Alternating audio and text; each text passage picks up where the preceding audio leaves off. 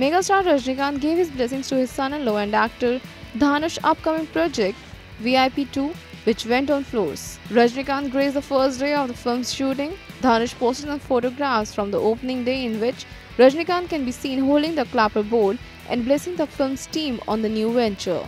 He tweeted, What more can I ask? Thanks Thalaiva. With all your blessings, VIP 2 kickstarts from today. Raghuvaran is back. After that, Rajinikanth also tweeted that wishing VIP 2 team all the very best, God bless. On career front, Rajinikanth's film 2.0 is all set to hit the theaters in 2017, which also stars Akshay Kumar and Amy Jackson in lead roles. Honest report.